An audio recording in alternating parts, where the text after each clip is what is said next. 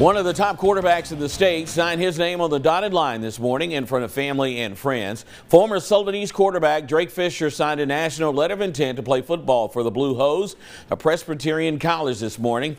Fisher was the most prolific passer in Patriots history, leading all of Tennessee with 3,187 passing yards and 34 touchdowns. He threw for 7,034 passing yards and 73 touchdowns during his career for the Patriots. Fisher will join his team teammate, former Tennessee High kicker Thatcher Hutton, who uh, signed with the Blue Hose earlier this year.